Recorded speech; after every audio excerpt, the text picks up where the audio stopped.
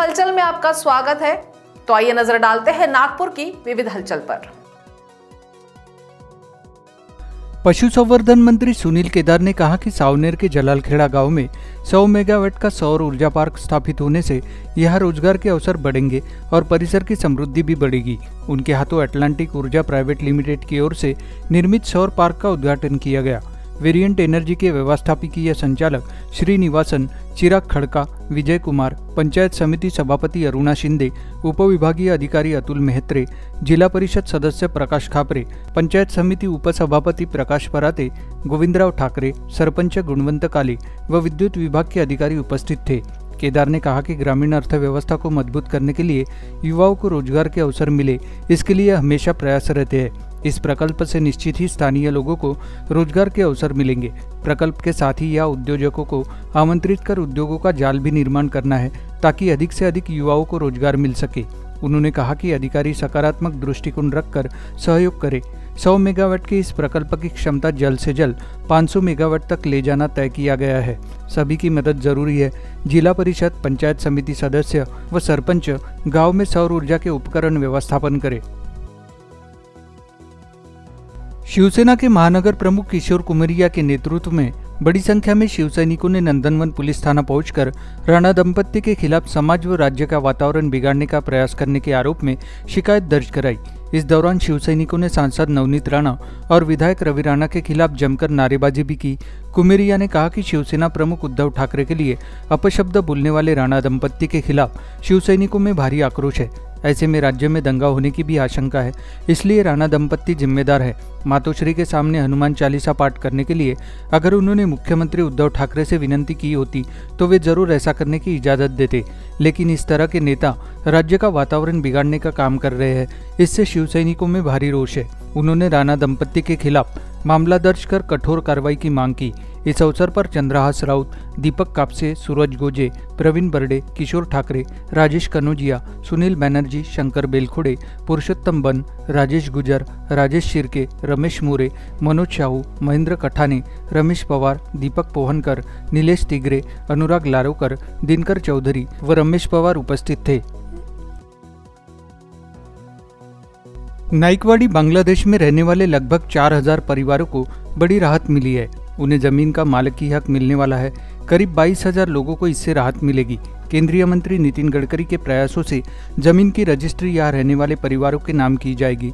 Registry करते समय भी परिवारों को राज्य सरकार की ओर से मुद्रांक शुल्क में 80 फ़ीसदी की छूट मंजूर की गई है। नागरिकों ने गडकरी से भेंटकर मदद मांगी थी। इस ज़मीन पर उन्नीस सौ बहत्तर से बांग्लादेश बस्ती बसी है। यह ज़मीन दरअसल नागनाथ बलवंत काले की है। इस पर अतिक्रमण कर झोपड़े बनाए गए थे। मालकी हक दिलाने के लिए एक बैठक ली गई, जिसमें ज़मीन मालिक काले को तीन रुपए प्रति वर्ग फुट के भाव से रकम प्रत्येक परिवार देगा। यह तय हुआ। सरकार ने 80 प्रतिशत मुद्रांक शुल्क माफ़ कर दिया है। इसके बाद ज़मीन का नक्शा मंजूर किया गया और आक्यू पत्रिका तैयार हुई। सात बारह में परिवारों के नाम चढ़ाए गए। सभी संबंधित नागरिकों ने गडकरी का आभार माना है। सिटी को कनान व पेंच से 700 सौ पानी मिल रहा है। इसके बाद भी नागरिकों को जल संकट का सामना करना पड़ रहा है। इस पर गडकरी ने संबंधित दोषी अधिकारियों पर कार्रवाई करने के निर्देश दिए। पूर्व ऊर्जा मंत्री चंद्रशेखर बावनकुले ने आरोप लगाया कि राज्य में जो लोड शेडिंग शुरू है, वह कृत्रिम है और ऊर्जा मंत्रालय निजी कंपनियों से बिजली खरीदी के माध्यम से भ्रष्टाचार का रास्ता बना रहा है। उन्होंने कहा कि देवेंद्र फडणवीस सरकार के कार्यकाल में लगभग 9000 मेगावाट बिजली निर्माण कर राज्य को लोड शेडिंग फ्री किया गया था, लेकिन महाविकास आघाड़ी सरकार की घोर निष्क्रियता के चलते राज्य में अंधेरा छा गया है। बिजली संकट का दिखावा कर निजी कंपनी से खरीदी कर भ्रष्टाचार का मार्ग खोजने का प्रयास ऊर्जा मंत्रालय कर रहा है। भाजपा की ओर लोड शेडिंग के विरोध में संविधान चौक में कैंडल आंदोलन किया गया। वे इस अवसर पर बोल रहे थे। इस दौरान प्रवीण दटके उपेंद्र कोठेकर कृष्णा खोपड़े मोहन मते जिलाध्यक्ष अरविंद गजबिये दयाशंकर तिवारी, गिरीश व्यास, मिलिंद माने, संजय भिंडे, रमेश चोपड़े, धर्मपाल मेश्राम, अर्चना डेहनकर, अश्विनी जिचकार, पारेंद्र पटले, यश सातपुते, संकेत कुकड़े, चंदन गोस्वामी सहित बड़ी संख्या में कार्यकर्ता शामिल हुए। बावनकुले ने कहा कि फडणवीस सरकार ने राज्य के 42 लाख किसानों को अट्ठाईस हज़ार करोड़ की बिजली दी। 2005 से 2017 के काल में कृषि पंप के लिए आवेदन करने वाले साढ़े सात लाख किसानों को नए कनेक्शन दिए। वेकोली में भूमि अधिग्रहण के बाद नौकरी के लिए आश्रित विवाहित पुत्री को भी रोज़गार प्रदान किया जाएगा, लेकिन इस आदेश को वर्तमान से लागू किया गया है। कोयला श्रमिक सभा के केंद्रीय अध्यक्ष व जेबीसीसीआई सदस्य शिव कुमार यादव ने कोल इंडिया के निदेशक विनय रंजन और महाप्रबंधक अजय कुमार चौधरी के साथ विविध मुद्दों पर बैठक की और यह मामला उठाया। उन्होंने कहा कि वर्तमान से इसे लागू करने के चलते वर्षों से नौकरी की राह देख रही आश्रित पुत्रियों को इसका लाभ नहीं मिल पा रहा है। इस पर निदेशक जो स्वयं इस बोर्ड के सदस्य है, ने कहा कि विषय बोर्ड के समक्ष रखेंगे और ऐसी सभी विवाहित पुत्रियों, महिलाओं को जिन्होंने पहले ही आवेदन कर रखा है, उन्हें नौकरी देने का बोर्ड से आग्रह करेंगे। यादव ने खदानों में कार्यरत कर्मचारियों से जुड़े कई मुद्दों को उठाया और निराकरण की मांग की। कई मामलों पर सहमति बनी। उन्होंने कहा कि आश्रितों को नौकरी मिलने में देरी हो रही है। अधिक मोटापा, आदि मामलों में आश्रितों को प्राथमिक चिकित्सा परीक्षण में नौकरी हेतु अयोग्य घोषित किया जा रहा है। ऐसे में मेडिकल अटेंडेंट्स नियम में सुधार करने का सुझाव यादव ने दिया। बीते वर्ष भरपूर बारिश होने से सारे जल प्रकल्पों में पानी का स्टॉक भरपूर हो गया था। उसी समय मनपा के जल प्रदा विभाग और ओसीडब्ल्यू द्वारा दावा किया गया था कि इतना स्टॉक है कि आगामी दो वर्षों तक सिटी को पीने के पानी की कोई किल्लत नहीं होगी। लेकिन इस वर्ष सिटी के कई इलाकों में जल संकट से नागरिक परेशान हो रहे हैं। जिन बस्तियों में अभी पाइपलाइन नहीं बिछी है और नल कनेक्शन नहीं दिए गए हैं और जहाँ पाइपलाइन बिछा दी गई है, लेकिन उसे चार्ज नहीं किया गया है, ऐसी बस्तियों में ओ द्वारा टैंकर से जलापूर्ति की जा रही है। हालत यह है कि टैंकर ड्राइवर इस संकट का लाभ उठा रहे हैं। जो घर वाले उन्हें खर्चा देते हैं, उन्हें नियमित पानी दे रहे हैं और जो नहीं देते, उन्हें दस दस दिनों तक पानी नहीं मिल रहा है। मानेवाड़ा बेसा रोड की कुछ बस्तियों से नागरिकों की इसी तरह की शिकायतें मिल रही है। मानेवाड़ा बेसा रोड स्थित आराधना नगर दो, दुर्गा मंदिर के पास प्लॉट नंबर एक से दस के सभी घर टैंकर से पानी नहीं लेते हैं। इनमें से दो से तीन घर टैंकर से पानी लेते हैं। यातायात पुलिस ने मोटर वाहन अधिनियम के विभिन्न धाराओं के अंतर्गत कुल मिलाकर 3,755 वाहन चालकों पर कार्रवाई की और उनसे कुल मिलाकर दो लाख अड़तीस हज़ार रुपये का जुर्माना वसूला। इसी तरह मुंबई शराबबंदी अधिनियम के अंतर्गत 10 मामलों में 12 आरोपियों को गिरफ़्तार किया गया और उनसे उनतीस लाख संतावन हज़ार रुपये का जुर्माना वसूला गया। इसके अलावा जुआ अधिनियम के अंतर्गत पाँच मामलों में आठ आरोपियों को गिरफ़्तार किया गया और उनसे तीन हज़ार नौ सौ पैंसठ का माल जब्त किया गया। उपरोक्त सभी ऑपरेशन संयुक्त रूप से नागपुर सिटी पुलिस द्वारा किए गए थे। ट्रैफ़िक विभाग ने यह आह्वान किया है कि नागरिक वाहन चलाते समय वाहन से संबंधित सभी दस्तावेज़ अपने पास रखें। संगीतकार ए आर रहमान और आर डी बर्मन द्वारा रचित गीतों का कार्यक्रम magic of A R R D आज शाम साढ़े छः बजे कवि सुरेश भट्ट हॉल, रेशिम भाग में आयोजित किया जाएगा। हारमोनी इवेंट्स के सेव आर्ट, सेव आर्टिस्ट पहल के तहत आयोजित होने वाले इस कार्यक्रम का आयोजन हारमोनी इवेंट्स के निदेशक राजेश समर्थ द्वारा किया गया है। इसकी परिकल्पना स्वाति खड़से द्वारा की गई है। इस कार्यक्रम का मंच संचालन श्वेता शिलगांवकर करेगी।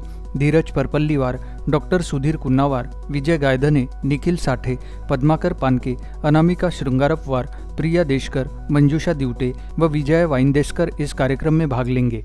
परिमल जोशी, रितेश त्रिवेदी, प्रवीण लिहितकर, प्रशांत नागमोते, अक्षय हारले, राजू गजभिये, राजेश धामनकर उनका साथ देंगे। कार्यक्रम के आयोजन में एडवोकेट कौशिक पुजारी और दीप्ति पुजारी का भी विशेष सहयोग मिल रहा है।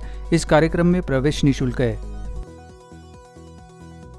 शहर के मुस्लिम समुदाय ने सामाजिक सद्भाव का प्रदर्शन किया है। और शांति बनाए रखने में प्रशासन की काफ़ी मदद की है। सभी समुदाय के नेता बिना किसी भड़काऊ बयान या कार्रवाई के शांति बनाए रखने के लिए मिलकर काम करेंगे। इस आशय के विचार राज्य के ऊर्जा मंत्री एवं नागपुर ज़िले के पालक मंत्री डॉक्टर नितिन राउत ने उम्मीद जताते हुए व्यक्त किए यशोधरा नगर पुलिस स्टेशन की पहल से रविवार को ताजमहल सेलिब्रेशन हॉल में आयोजित एक इफ्तार कार्यक्रम में वे भाषण दे रहे थे। इस अवसर पर पुलिस आयुक्त अमितेश कुमार, अपर पुलिस आयुक्त नवीन चंद्र रेड्डी, पुलिस उपायुक्त चिन्मय पंडित, सहायक पुलिस आयुक्त नयन अलूरकर, वरिष्ठ पुलिस निरीक्षक विश्वनाथ चौहान, अहमद शेख, मौलाना हसन ईमानदार अब्दुल मजीद, मोहम्मद अल्ताफ शेख, अकील अहमद, मोहम्मद आरिफ हुमायूं, शबाना बेगम आदि उपस्थित थे। मुस्लिम बंधुओं को रमज़ान के मुबारक महीने की बधाई देते हुए पालक मंत्री डॉक्टर राउत ने कहा कि हर कोई अपने धर्म से प्यार करता है। लेकिन धार्मिक विचारों की आड़ में आतंक और टकराव पैदा करने वाले बयानों से हमें बचना होगा और सामाजिक शांति बनाए रखने में योगदान देना होगा। शहर की मुस्लिम समुदाय ने अपनी ज़िम्मेदारी निभाकर सभी धर्मों के प्रति सम्मान का प्रदर्शन किया है। केंद्रीय मंत्री नितिन गडकरी ने आश्वासन दिया कि मराठवाड़ा के औरंगाबाद ज़िले में राजमार्गों के विकास से इस क्षेत्र की तस्वीर बदल जाएगी और वर्ष 2024 तक औरंगाबाद ज़िले में पच्चीस हज़ार करोड़ के राजमार्गों का निर्माण होगा। गडकरी ने यह बात 3,317 करोड़ रुपए की चार राजमार्ग परियोजनाओं के लोकार्पण और दो हज़ार दो सौ तिरपन करोड़ रुपए की चार राजमार्ग परियोजनाओं के शिलान्यास के अवसर पर कही। कार्यक्रम में केंद्रीय वित्त राज्य मंत्री भागवत कराड़ केंद्रीय रेल राज्य मंत्री राव साहेब दानवे राज्य मंत्री अब्दुल सत्तार सांसद सांदीपन भुमरे विधायक संजय सिरसाट हरि बागड़े अनिल सावे चंद्रकांत खैरे आदि उपस्थित थे. गडकरी ने कहा कि 2014 से अब तक महाराष्ट्र में 12,524 किलोमीटर नए राजमार्ग घोषित किए गए हैं। अब राष्ट्रीय राजमार्ग की लंबाई 18,224 किलोमीटर है। महाराष्ट्र में पिछले सात साल में एक लाख दो हज़ार करोड़ रुपए हाईवे के कार्यों पर खर्च किए गए हैं। औरंगाबाद ज़िले में 2014 तक केवल 145 किलोमीटर राजमार्ग थे। तब से राजमार्ग की लंबाई बढ़कर 450 किलोमीटर हो गई है। 600 किलोमीटर हाईवे के नए कार्यों को मंजूरी दी गई है और तेरह कार्य पूरे कर लिए गए हैं। बिजली का बिल बकाया होने के चलते नागपुर और वर्धा ज़िले की अनेक जिला परिषद शालाओं की बिजली आपूर्ति खंडित कर दी गई थी। बिना बिजली के बच्चों का कंप्यूटर एजुकेशन भी प्रभावित हो रहा था और गर्मी के दिनों में पसीना बहाते हुए बच्चे और शिक्षक परेशान हो रहे थे। महावितरण के नागपुर परिमंडल के तहत आने वाले नागपुर व वर्धा ज़िले के ऐसे 115 शालाओं की बिजली शुरू करने की जानकारी दी गई है। बताया गया है कि राज्य के शिक्षा विभाग ने महावितरण को लगभग 14 करोड़ रुपए दिए हैं। इसके चलते तत्काल ही 115 शालाओं की बिजली आपूर्ति बहाल की गई है। इसमें नागपुर की उनपचास और वर्धा की छियासठ शालाओं का समावेश है। Chamber of association of Maharashtra industry and trade के अध्यक्ष डॉक्टर दीपेन अग्रवाल के नेतृत्व में एक प्रतिनिधि मंडल ने शिवसेना के राज्यसभा सांसद संजय राउत से विधायक दुष्यंत चतुर्वेदी, विशाल बरबटे, नागपुर शिवसेना महानगर संगठक की प्रमुख उपस्थिति में उनके नागपुर के दो दिवसीय यात्रा के दौरान मुलाकात की। शुरुआत में अग्रवाल ने संजय राउत का फूलों के गुलदस्ते के साथ स्वागत किया और व्यवसाय समुदाय को परेशान करने वाले तीन सबसे अधिक समस्याग्रस्त मुद्दों पर प्रकाश डालते हुए ज्ञापन सौंपा। जिसमें निगमों द्वारा किराए में अत्याधिक वृद्धि और उनकी कार्रवाई राज्य भर में स्थानीय निकाय कर विभाग द्वारा कर आकलन की आड़ में उत्पीड़न और एनएमआरडीए द्वारा एमएसएमई पर कार्रवाई का समावेश है। उन्होंने विदर्भ में रिफाइनरी और पेट्रोकेमिकल कॉम्प्लेक्स स्थापित करने की भी मांग की। डॉक्टर दीपन अग्रवाल ने संजय राउत से रिफाइनरी और पेट्रोकेमिकल कॉम्प्लेक्स की स्थापना के लिए सिफारिश करने का भी अनुरोध किया है। उन्होंने आगे संजय राउत से अनुरोध किया है कि वे राज्य सरकार पर अपने प्रभाव का उपयोग करें। राज्य सरकार केंद्र सरकार को विदर्भ क्षेत्र में नागपुर और उसके आसपास मेगा रिफाइनरी और पेट्रोकेमिकल कॉम्प्लेक्स के लिए सिफारिश करे तथा समयबद्ध तरीके से सभी आवश्यक प्रकल्पों को मंजूरी दिलवाए। लोहिया अध्ययन केंद्र के मधुलिमय सभागृह में डॉक्टर शशिवर्धन शर्मा, शैलेश के उपन्यास का लोकार्पण करते हुए कार्यक्रम के अध्यक्ष सुनील पाटिल ने सबसे पहले विश्व पुस्तक दिवस के शुभ अवसर पर सभी को बधाई दी। और उसके पश्चात कहा कि मन को जागरूक करने का काम पुस्तकें ही करती है। ये सर्वविदित है। पुस्तकें बुद्धि का विकास, आत्मविश्वास, व्यक्तिमत्व विकास और धार्मिक तथा सामाजिक सांस्कृतिक मूल्यों के साथ उनकी धरोहर को घर घर पहुंचाती है। एक सुंदर उपन्यास और एक सुंदर विषय को लोगों के समक्ष प्रस्तुत करने के लिए उन्होंने लेखक को बधाई दी और आगे बताया कि शहीद आज़म भगत सिंह ने अपने जीवन काल में 200 पुस्तकें, छात्रावस्था में तथा 300 पुस्तकें कारागृह में रहकर पढ़ी। ये पुस्तक ही थी जो उनमें जोश भरने का काम करती थी। समीक्षक ओम प्रकाश शिव ने पुस्तक उजाले की ओर की पूरी कहानी को सामंती प्रथा के साथ बदलते परिवेश का सूचक माना। उन्होंने बताया कि कहानी में रोचकता अंत तक बनी रहती है। इसका कारण शब्द संयोजन और भाषा शैली का उत्कृष्ट होना अत्यंत आवश्यक है। आज भी अमीरी गरीबी छुआछूत, इस मानसिकता ने लोगों का पीछा नहीं छोड़ा है। केवल अच्छी पुस्तकों को ही पढ़ने से हमें इससे छुटकारा मिल सकता है। पवित्र रमज़ान के मुबारक माह में छोटे बड़े सभी लोग अकीदत के साथ अल्लाह की इबादत करते हैं और रोजा रखते हैं। बंगाली पंजा निवासी नन्ही चार वर्षीय बालिका सोफिया फातिमा जाहिद खान ने भी इसी श्रृंखला में अपना पहला रोजा रखा और मुल्क में अमन, भाईचारा व शांति के लिए अल्लाह से दुआ मांगी। घर के बड़ों ने सोफिया को दुआओं से नवाजा और शुभकामनाएँ दी। जगत गुरु श्रीमद वल्लभाचार्य जी महाप्रभु के 545वें प्राकट्य महोत्सव के अवसर पर श्री मदन मोहन हवेली, न्यू इतवारी रोड में आज रात आठ बजे को बधाई कीर्तन एवं कल 26 अप्रैल को बालकृष्ण लाल हवेली, धारसकर रोड में मंगला दर्शन सुबह साढ़े सात बजे होगी। आरती, प्रभात फेरी, मंगला दर्शन के पश्चात पालना दर्शन सुबह दस बजे, राजभोग व तिलक दर्शन दोपहर बारह बजे, शयन दर्शन शाम साढ़े बजे एवं बधाई कीर्तन शाम सात बजे होगा। हवेलियों के विश्वस्तों ने सभी वैष्णवों से दोनों हवेलियों में प्रकटोत्सव के कीर्तन का लाभ लेने का निवेदन किया है। अखिल भारतीय मारवाड़ी महिला सम्मेलन की नागपुर शाखा ने शकुंतला अग्रवाल की अध्यक्षता में कोरोना महामारी के दौरान भी दो साल में 301 कार्यक्रम सफलतापूर्वक आयोजित किए। इनमें से एक सौ सत्तानवे वेबिनार थे। इस उपलब्धि के लिए राष्ट्रीय स्तर पर शाखा के पदाधिकारियों को सम्मानित किया गया। वेबिनार के सहयोग के लिए ऊर्जा, समृद्धि व श्रेष्ठा को शाखा की ओर से सम्मानित किया गया। महिला सशक्तिकरण जन जागरण बाल विकास, पर्यावरण, रक्तदान प्रकल्प में जन जागरूकता महिला सशक्तिकरण वसुंधरा को हरा भरा बनाए रखने में शाखा सदस्य के सहयोग से वृक्षारोपण किया गया। प्लास्टिक की थैली से होने वाले नुकसान को लोगों के समक्ष प्रस्तुत कर 450 कपड़े की थैली का वितरण कर पर्यावरण को नुकसान से बचाने की पहल की। बच्चे देश का भविष्य है, इसी बात को ध्यान में रखकर फैंसी ड्रेस एवं ड्राइंग प्रतियोगिता आयोजित किए गए। बच्चों को अन्न बचाओ, जल ही जीवन है, रक्तदान का महत्व समझाया गया। कोविड 19 महामारी के दौरान हॉस्पिटल, गौशाला, कर्मचारी, पुलिस, राहगीर, मजदूरों को सैनिटाइजर, जूस, मास्क, खाना, फल, चप्पल देकर सहयोग किया गया। Sanitiser machine, oxygen machine, BP machine, PPE kit व चार कूलर राष्ट्रसंत टुकड़ोजी महाराज कैंसर हॉस्पिटल में प्रदान किए गए। महात्मा गांधी अंतर्राष्ट्रीय हिंदी विश्वविद्यालय, वर्धा, सामाजिक न्याय एवं अधिकारिता मंत्रालय, भारत सरकार तथा डॉक्टर अंबेडकर फाउंडेशन के संयुक्त तत्वावधान में डॉक्टर अंबेडकर उत्कृष्टता केंद्र के रूप में स्थापित हो गया है। डॉक्टर अंबेडकर उत्कृष्टता केंद्र का राष्ट्रव्यापी उद्घाटन 22 अप्रैल को बनारस में हुआ। सामाजिक न्याय एवं अधिकारिता मंत्री डॉक्टर वीरेंद्र कुमार और उत्तर प्रदेश की राज्यपाल आनंदीबेन पटेल ने देश के इकतीस केंद्रीय विश्वविद्यालयों में डॉक्टर अंबेडकर उत्कृष्टता केंद्र का शुभारंभ किया। प्रत्येक केंद्र में अनुसूचित जाति के विद्यार्थियों को प्रशासनिक सेवा परीक्षाओं के लिए निःशुल्क कोचिंग सुविधा उपलब्ध होगी। हर केंद्र में सौ सीटें होगी, जिनमें से तैतीस प्रतिशत पर अनुसूचित जाति की छात्राएँ प्रवेश ले सकेंगी। हर केंद्र के संचालन के लिए डॉक्टर अंबेडकर प्रतिष्ठान के माध्यम ऐसी सामाजिक न्याय एवं अधिकारिता मंत्रालय, हर विश्वविद्यालय को सालाना पचहत्तर लाख रुपए की राशि उपलब्ध कराया जाएगी। प्रत्येक केंद्र में तीन शिक्षकों की सुविधा पर नियुक्ति की जाएगी और सुचारू पठन पाठन के लिए। सभी आधुनिक एवं आवश्यक सुविधाएँ, जैसे कक्षाएँ, पुस्तकालय हाई स्पीड वाईफाई आदि उपलब्ध कराई जाएगी। निःशुल्क कोचिंग के लिए चयन विश्वविद्यालय द्वारा आयोजित प्रवेश परीक्षा के आधार पर किया जाएगा। इस योजना के लिए विश्वविद्यालय में स्थापित डॉक्टर अंबेडकर पीठ से समझौता पत्र पर हस्ताक्षर किए गए। आठ दिनों की कीर्तन श्रृंखला शाम सप्ताहिकी के अंतिम दिन खालीलाबाद से आए सरदार हरमिंदर सिंह रोमी एवं कलकत्ता से आए संजय मित्तल ने अपने भजनों से शाम प्रेमियों को भाव विभोर कर दिया। गीता मंदिर सुभाष रोड में साप्ताहिकी के अंतिम दिन बाबा शाम का भव्य दरबार सजाया गया। कलकत्ता के फूलों से बाबा का अलौकिक श्रृंगार किया गया। कार्यक्रम की शुरुआत अखंड ज्योत जगाकर की गई। सात दिनों तक अपने भजनों का गुणगान कर रहे जयपुर के संजय पारेख एवं नैनीताल के रितेश मनोचा की जोड़ी ने आठवें दिन भी एक से बढ़कर एक भजन प्रस्तुत किए। उसी प्रकार शीतल पांडे एवं प्रवेश शर्मा ने दरबार में ऐसे भजनों की झड़ी लगा दी, जिसे सुनकर श्याम प्रेमी झूम उठे। बड़ी संख्या में शाम प्रेमियों ने अखंड ज्योति व भजनों का आनंद लिया। कार्यक्रम का समापन आरती एवं प्रसाद वितरण के साथ हुआ।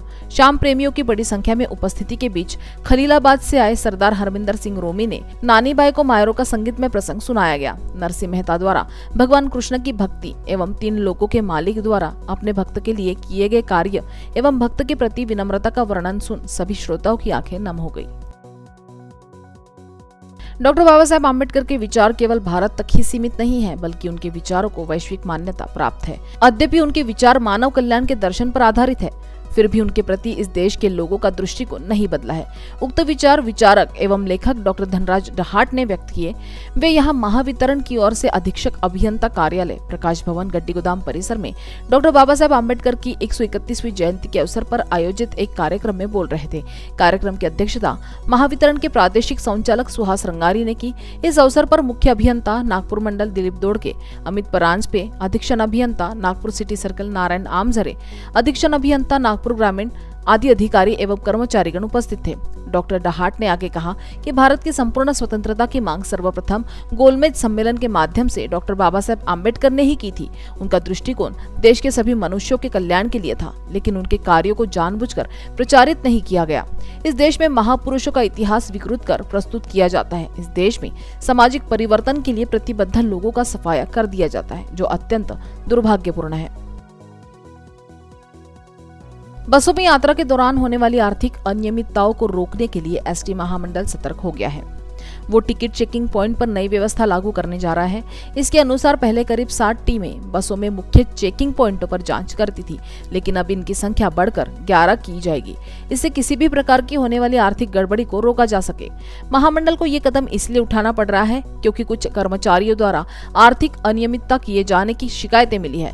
पूर्व में भी कई कर्मचारी इसके लिए दंडित हो चुके हैं। अब पुनः कोई गड़बड़ी न हो, इसके लिए कदम उठाना ज़रूरी है। बता दें कि एसटी महामंडल शहर के साथ ग्रामीण क्षेत्रों में अपनी करीब 400 बसें चलाती है। वर्तमान में 390 बसें चलाई जा रही हैं, बाकी बसें भी जल्द शुरू की जाएगी। महामंडल के करीब एक हज़ार तीन सौ पचासी कर्मचारी नौकरी पर वापस आ चुके हैं। बाकी कर्मचारी भी जल्द काम पर लौटेंगे। अब महामंडल के पास बसें चलाने के लिए कर्मचारियों की कमी नहीं है। अधिकारियों का कहना है कि उसे अब पूर्व में बने सिस्टम को व्यवस्थित कर सख्ती से लागू करना है जिससे परिवहन व्यवस्था आसानी से बिना किसी विघ्न के चल सके। इसके लिए महामंडल ज़रूरी कदम उठा रहा है। तो नागपुर हलचल में आज इतना ही। आपसे कल फिर मुलाकात होगी। तब तक देखते रहिए वीके वी न्यूज़। नमस्कार।